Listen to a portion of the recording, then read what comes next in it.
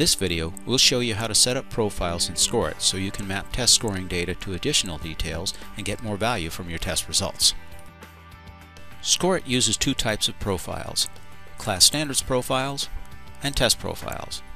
Setting up a profile is optional, but it helps make your reports more informative. There are two ways to set up a profile. You can click I'd like to create profiles and select the type of profile you want to set up or, if you know the type of profile you want to use, click the profile from the main ScoreIT screen. First, we'll show you how to set up a Class Standards profile. Click the Class Standards profile icon.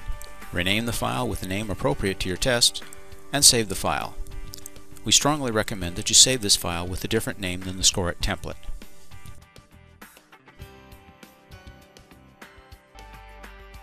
The Class Standards profile opens in an Excel workbook click the Students tab and enter the student IDs and student names.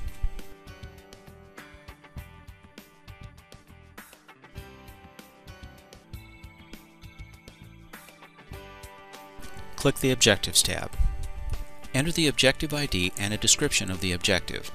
ScoreIT uses the objective ID to associate specific test objectives listed in the test profile with objective descriptions. Click the Grades tab. ScoreIT matches students' actual percentage score with the grading scale you enter to determine a letter grade for the test. Enter the grade ranges for the test and save the file.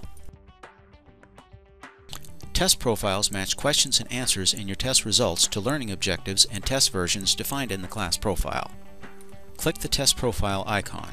Select the test profile Excel template, rename it with a name appropriate to your test, and click Save. Again, we recommend that you save this file with a different name than the ScoreIT template. The test profile opens in an Excel workbook.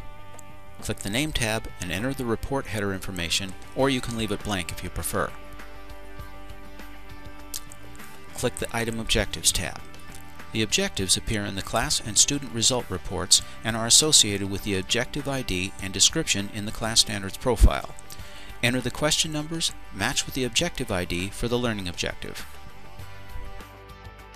If you have more than one version of a test, ScoreIT uses version mapping to present unified item analysis results for all versions of a test. For more information, be sure to view the ScoreIT online help. Save the file, and you're done setting up the test profile. That's all for now. We'll see you next time.